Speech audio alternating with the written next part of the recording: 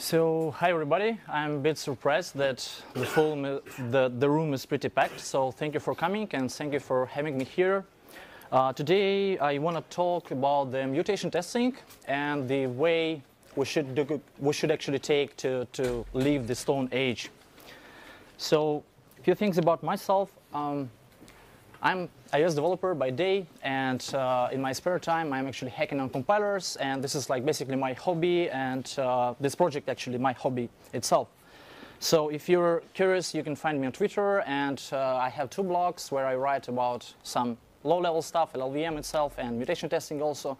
And especially if you are into software testing and quality of software, then I uh, recommend you to look at the last um, link, the systemundertest.org. Uh, there I and uh, friends of mine were writing about different software, how it's tested, and so on and so forth. So it was shameless plug. Um, yeah, this is the, the outline for today's talk. I will start uh, with the quality of software, then I will talk a bit about the unit testing, then we will uh, move towards uh, mutation testing. Then I want to present the tool that I'm working on, and at the very end, I will try to, to, to present a showcase, uh, like uh, real life usage of this tool. But um, I'm afraid that I will not be able to, to, to give you like some stellar um, examples, um, but that's going to be interesting, I hope. Yeah, so I do software for about like seven uh, yeah, seven years now, I think, and uh, I enjoy it a lot. But one thing that I'm concerned uh, a bit is the fact that software is just like broken. Like essentially everything is broken, like browsers, compilers, operating system, games, just anything. It's full of bugs and it doesn't work, and so on and so forth. So we as developers, as computer scientists and engineers, we are trying to put as much as possible efforts in for decades to improve the software somehow. And there are some some ways to do it. So, for instance, uh, just, just today we had uh, a great talk about formal uh, verification of programs. But I don't know much about this topic, but as far as I know, uh, we are not there yet. The tooling is, is great, it, it's improving, uh, but it's quite hard to, to verify C or C++ because of this undefined behavior and so on. So another great uh, approach is fuzz testing. Um, it yeah, I think it it's like here like for a while, and now since we have better computational power, we can apply it more um, efficiently. So, but I think there is no doubt that um, unit testing uh, is the most uh, widespread technique that is used uh, by software developers. And yeah, it comes with a nice metric uh, as well, uh, it, which is code coverage. And yeah, today I I want to focus on, on, just on this. I'm not going to talk about like flaws and advantages of fuzz testing or formal verification, but I definitely want to talk about unit testing and its problems. So yeah, how it works in generally, in general. We have some code, and yeah, this is like artificial example just to, to, to start. So we have some function, sum that takes two integers and returns a sum of them. And for this function, what developer does, he writes a code like the assertion is that the sum of 5 and 10 is more uh, greater than 0 which is absolutely correct. It's a valid statement but it obviously it's not enough uh, because 5 multiplied by 10 also gr greater than 0 so if we run this test then we see that uh, 0 test has failed uh, 1 test passed and the cut coverage is 100%. So it definitely has uh, some it might be misleading. The code coverage uh, metric might be misleading. And I see that uh, sometimes people are striving for a number, for this number, but the code quality is uh, not the code quality, but the test quality is not as good. And there is no way to measure it, actually. There is no, just no way how to assert how good our tests. So here comes the mutation testing. So I will try to explain the algorithm behind it, like very briefly. Uh, if there is something like un completely unclear or like really confusing, just feel free to like to, to interrupt me and ask. I will elaborate. Uh, so yeah, what we do like normally with mutation testing, we have a program and we have a test suite. we then execute this uh, test suite against that program. And every, if, if everything is good, if tests are passing, then we do the following. For the program, we take a mutant, we create a mutant out of the program. So we basically do some mutation um, on it. And it must be some um, semantic change. The program should be different. Then we take that mutated program and run test suite against it again. And then we check the result. If the result is failed, then we claim that uh, this mutant was killed. This is essentially a good thing. So if you introduce, if you run a test against mutated program, then the test should fail. If that's not the case, then we claim that mutant uh, is survived, and this is uh, kind of bad. So it means that something is wrong, either code or the test. So here again, our uh, initial example was the test and the program. So out of this program, we can generate uh, many mutants, but I will just show a couple of them. So first one is we replace a plus b with a multiplied by b. And the second one, we replace a plus b with a minus b. Now, if we run the test against the first mutant, then it is still passes. So it, it yeah, mutant is survived, and it, it gives us a hint that something is wrong. However, the second mutant uh, is, well, was killed, and we are good to go here.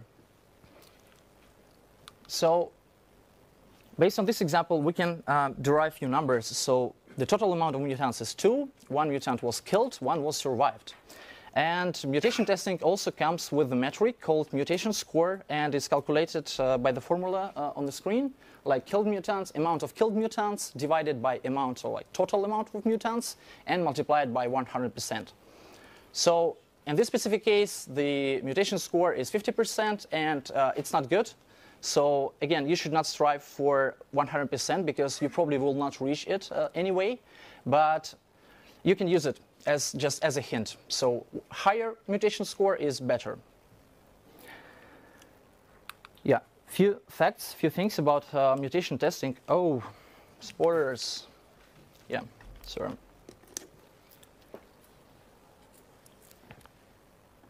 So it was first proposed by Richard Lipton in uh, 1971.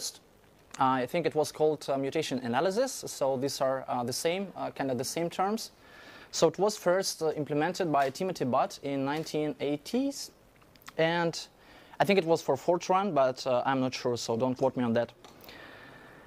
There are several studies, like quite recent studies, that show that uh, certain mutate, uh, mutation testing systems for certain programs, they could help to find uh, bugs like real faults, like quite high number of them, like 70 and uh, 90, actually 90, 94, 92%, like to, to be more precise. But uh, even despite this fact, mutation analysis was not, or it was not widely spread uh, because it has several problems as well as just everything.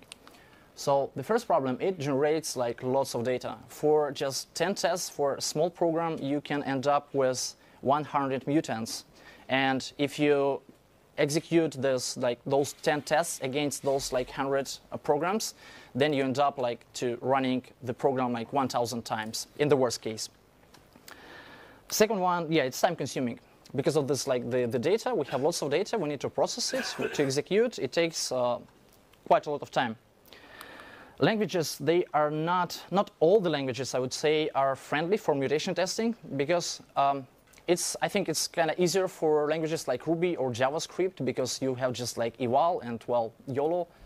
So, but languages like C or C++, they are more, um, they're not as friendly because you essentially need to, to mutate the program, like to change the source code, like maybe AST, I don't know, then compile it, then link it together with everything and run and then assert. It's just quite slow, though I don't have um, real numbers. Yeah, there is also a problem of a human test oracle. So let's say we uh, generated uh, lots of mutants, and we cannot just say like whether are they are they good or not. So we need somebody to actually look at, at those results and make the decision.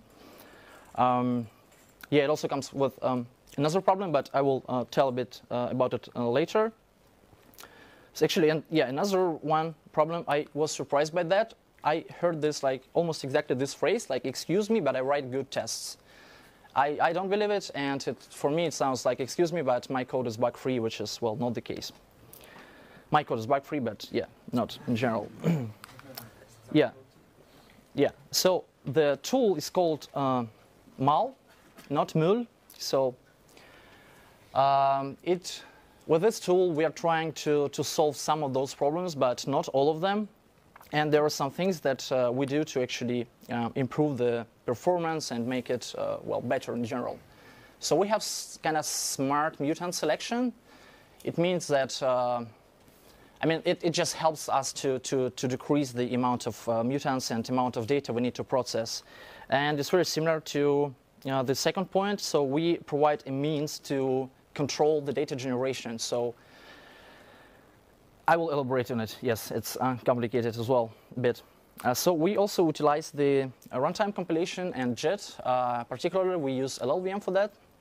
And it means that we, we don't need to link something, we don't need to recompile things that much, and we completely eliminate I.O., uh, bottleneck of I.O. in this case.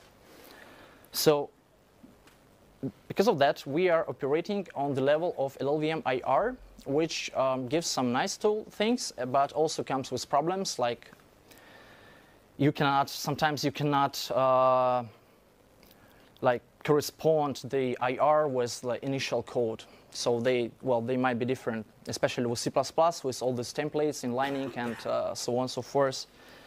And the great thing that it is language agnostic. Given that all the languages are built on top of LLVM. So if something is built on top of LLVM, then it's likely that we can use it. Yeah, so it's time to elaborate a bit on um, how the system works. So this is the typical program. We have like several source files, uh, bitcode files, modules, whatnot. They have some functions and instructions. And if we just go and analyze the whole program as is, then we will find out like many, many, many mutants, many, many places where we can introduce the mutation. But it's not very efficient because, because most, like maybe not most, but big part of this code is like just unreachable for whatever reason. So the, bet the better approach uh, would be as what we actually do. First, we try to find the actual tests, thing that are, well, tests essentially. And based on this, those tests, we take the call sites like uh, call functions. We're trying to build uh, so-called um, call tree. And based on this call tree, it's like on this slide, you can see some modules, they are not needed. So we can just eliminate them completely. We don't need to compile them. We don't need to analyze them. Just, I know, consumes less memory and so on and so forth. So, yeah, Whereas uh, with this optimization, um, it is actually still experimental. It's a bit more tricky than I thought before, and it has some problems, but it is, it is definitely the way to go. So for example, on this slide, um, we took uh, some subset uh, of tests from um, LLVM itself, the target called IR tests, and we just took like two and a half hundreds of tests. And uh, before to actually to run this the whole system to to process it we needed to look at like 400 modules and it took roughly yeah 85 minutes after this improvement like cutting those like unused modules. We got like three times less modules and almost uh, two it works like almost two times faster. But again it is experimental. It's not in master trunk yet but we're working on it. So here is the most um, complex program, like uh, closer to reality. And here we can see that um, on the left, the, the functions on the left, they are um, tests, and they go some way to like via some distance. And it has some distance.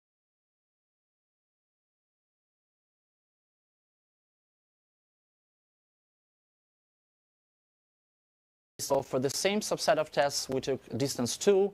It produces the 100, uh, 1,000 and a half uh, mutants. And the real execution time that I measured on my machine took like about one hour, which is kind of acceptable. But for, um, on the other hand, if we took the whole program, then the distance is 29 for, for this group of tests, and number of mutants, it's, I think there is actually a bug. Um, it should be like orders of magnitude more, like maybe 200 thousands of um, mutants. And approximated uh, approximation of like execution time is roughly 11 days, but it's very pessimistic. So in reality, it will take maybe seven days, six. So yeah, that still doesn't help. Um, yeah, and with, with these numbers, actually, with this uh, mean to, to, to change the distance, to control the distance, uh, even if it takes one hour, you cannot probably use it on your machine like daily basis because, well, it's kind of um, waste of time. But you still can use it as uh, like with the night, nightly builds, for example. And for, yeah, mutant control, okay. Yeah, there is another mean. Um, we can select some specific tests. So let's say you have like 200 tests, but you're interested in like one or like some group of tests. And uh, yeah, so basically you just like select one test and work with it with like even like uh, you reduce the amount of tests even further. And I didn't put numbers on slide, but the, the I think the best case was uh, like 30, 40 seconds maybe for one test. And the worst case for a group of tests, which is I mean, 15 or 20 took like, I don't know, 15 minutes, 20 minutes, which is like still reasonable.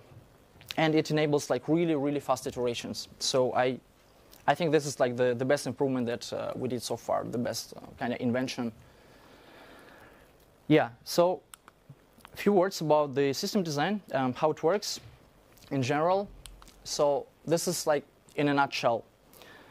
The program consumes as an input a config file, which is just a YAML, um, which is, doesn't matter. Um, what it contains is the list of bitcode files. Basically shows which modules, where to get modules to, to process. And it also like has um, this settings for distance and some cache and so on and so forth. So, but what the program spits out is the another config file and the SQLite file. So that another config file is um, reduced version of the first config file. So let's say that initially you provide a config with 400 uh, modules, and you found out that you were like used only 100 of them. The next time you can run the program with that uh, reduced uh, config, and you will not need to process like the 400, but rather 100. So it's kind of also improves the iterations. Yeah, we also don't provide any, so yeah, I mentioned the mutation score, but the program at this very moment, we do not provide any uh, like short report like uh, your mutation score is something percent. Because again, as I said, I believe that we should not strive for numbers. We should just use them as a hint. And what we provide instead of this is the SQLite file, which contains information about just everything and it has uh, the advantages. So if I run something and I get results, I can treat them in any way I want, and I don't have to restart the program again, wait like hour or a week, and just again iterate faster. So this is yeah the program from the like outside user perspective. So internally, it contains uh, consists from, from several several modules. Uh, one is kind of core. It has just a driver that uh, well controls the basic system. It has a reporter and it will be uh, likely extended or replaced in the future. So instead of SQLite, you can report to the as uh, like uh, output or whatnot. One essential part actually is mutation operators. I didn't talk about them uh, before, so I will just briefly explain what's that. So every mutation tool, mutation testing tool, uh, they have some mutation operators. These are things that like kind of rules that um, describe how you change your program.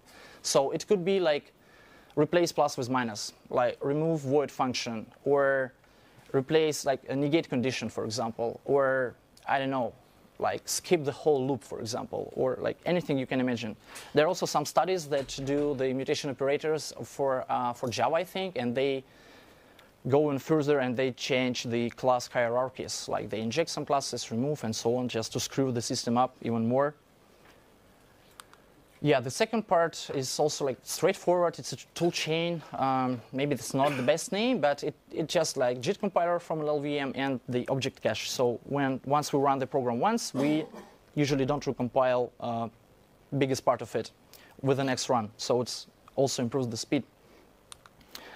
Yeah, the most important, in my opinion, uh, the most important piece, the most important thing is the test framework. Basically, this is the one thing uh, now that is abstract uh, because it can be like Google Test, for example. If you want to run the tool against C++, then we have driver now and like all this infrastructure for Google Test. Um, it could be also like XCTest, for example, for Objective-C and uh, Swift potentially. And just, I think two or three days ago, we merged the initial support for, for Rust. It, it's not production ready. I mean, the whole tool is not production ready, but the Rust, uh, you can just take it and apply on any project, but we'll get there. Yeah, so kind of showcase Initially, like a month ago, I wanted, when I was planning the slides and so on, I wanted to run the tool against the LLVM itself, and gather some results, dive into it, and find something, probably something interesting. But the problem that I face that uh, to actually assert the, to actually make sense out of those mutations, I need to know the domain of the tool uh, very well, which is not the case, unfortunately. I don't know the like the most part of the LLVM, like uh, APFloat and some other stuff. But the results are available online. Um, they might be cumbersome and unclear and maybe cryptic because um, I'm in this context and I do understand everything there, but it's hard to understand, like it's hard to know for me what uh, people may need. So if you're into it and if you are interested, you may take a look and give some feedback. I would really appreciate it. Yeah. So again, the, some numbers for um, example that IR tests. Yeah, you can see here the mutation score is 43%, which is quite low, and I actually saw um, yeah, quite a few places that can be improved, but uh, again, I cannot just like do it easily and fast. I need to, to dive into this uh, matter, uh, which I didn't.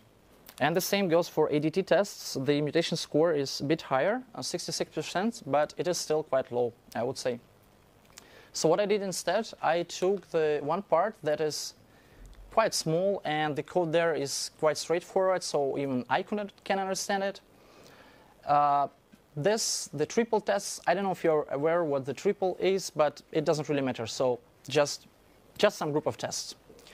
And yeah, the mutation score is quite high, but I still wanted to see what's going on there. And first thing I found is this kind of tests.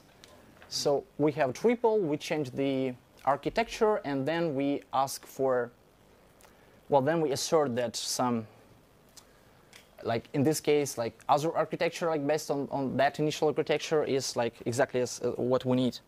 So what happened? What's happening behind the hood uh, under the method like get little endian arch variant?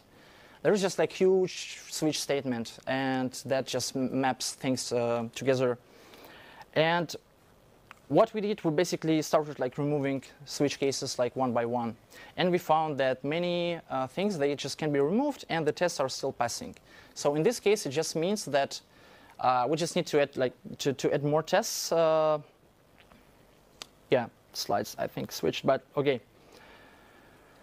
Yeah, so one could argue actually that this case can be found by code coverage, and this is like absolutely true. It will be there. I'm pretty sure but the nice thing about the mutation testing in this case, that you get report like this one, and you clearly see like what was removed. Like let's say you remove this like this case, and you see like what what which tests were affected by this. So basically, what what tests you need to extend to improve to cover this case.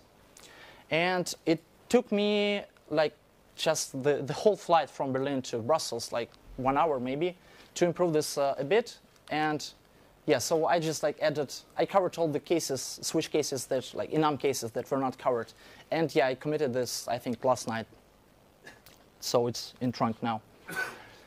Uh, the second one is more interesting in my opinion. Um, so yeah, the test is like straightforward. We set some property of an object, and then we assert that property is exactly like equals to what we just like used. But this test actually will pass if we just comment out this line just, just because the ELF is default value.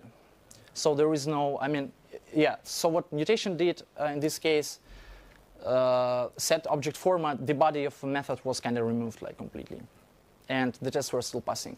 So also what I learned uh, from this very specific example, so if you have situations like this, then it may make sense as a developer to cover like two cases, at least two cases, and then it's very likely that you're good to go and you're not asserting default value. So again, I just like added like two lines and also committed it. Add a check for, de- add a check for default, initialize to not default in every test. Um, can you repeat, sorry? can add you add a test case which tests the default, Yes, and now you have a you have claimed this as truth, yeah. and then in every all the other test cases you initialize to something which is not the default before you do the thing. Yeah, this is how it should work, but this is not how it works. Yeah, um, Well, in this case, actually, you should have replaced the Mac O as first and the Alpha second, because uh, uh, you still don't need the first uh, set object format. so I think it's a bit trickier. Um, okay, I cheated a bit. Okay, so the ELF is not like default, like is like completely default. It based on uh, so it's default for Linux. On the arch that you run, yes. Yeah, it defaults uh, on Linux, it, but it's different on uh, OS X. And even I run it on uh, OS X machine, the triple initialized to the default value. Like it, when you give the empty, empty string, it thinks that it's um, Linux machine. No idea why, but that's how it works. Don't try to understand the triple. Uh, I didn't. I didn't have this goal at all. Yeah. So another example, I. Uh, it's not like the code exactly. Um, I think I found it in IR but I might be wrong. But the idea is that you have something like if something, then we use slow version of an algorithm. Otherwise, we use fast version of, of the algorithm. And we have some tests. And if we basically introduce some mutation and we flip those branches, then the test still passes.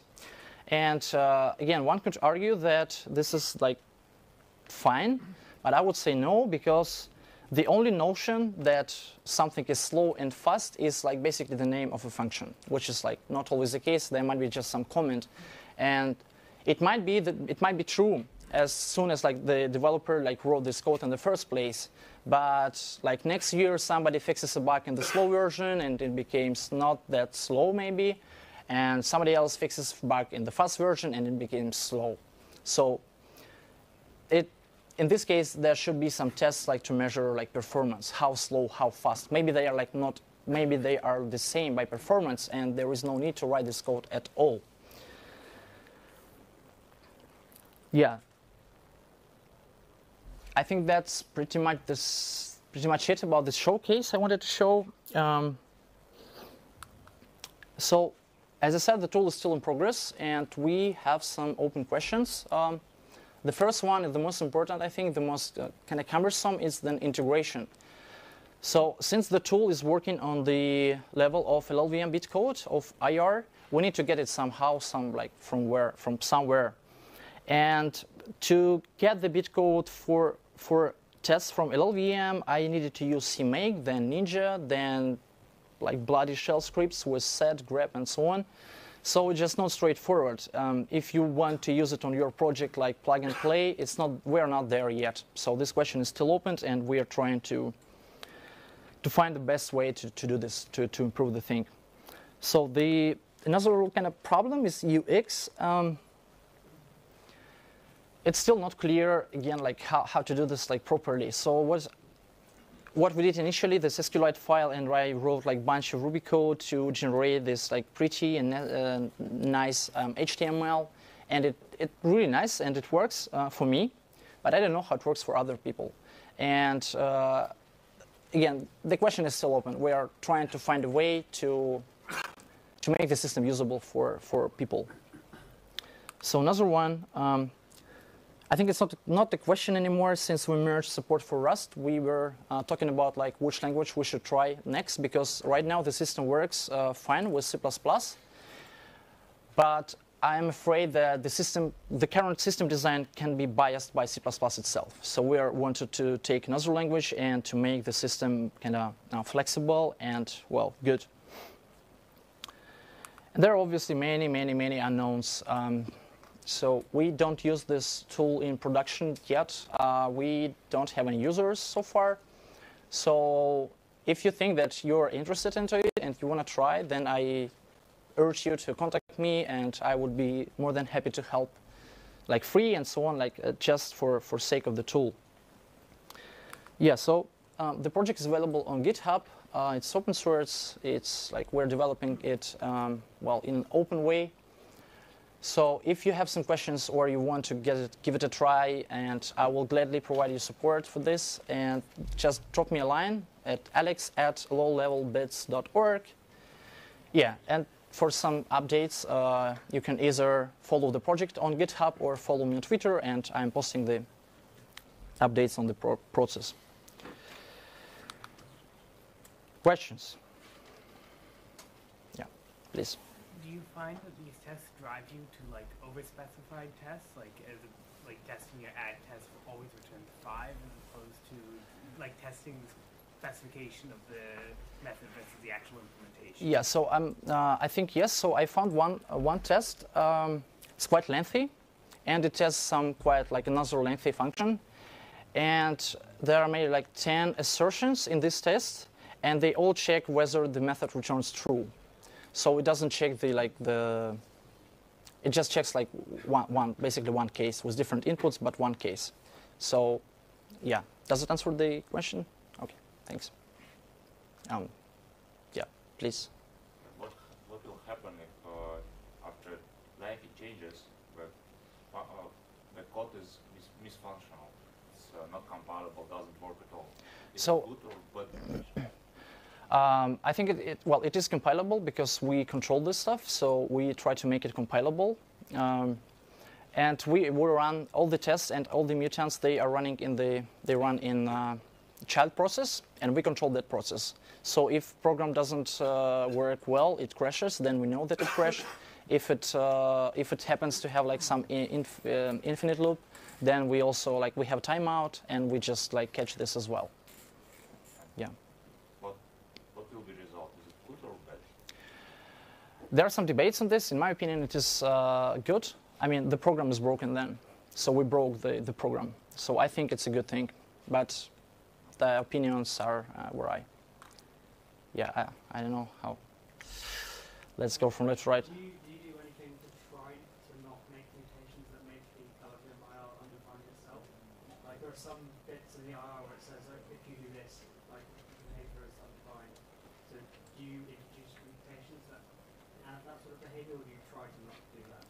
So we we barely control the this aspect. We just again in, like make change and like YOLO. That's that's it. That's our approach.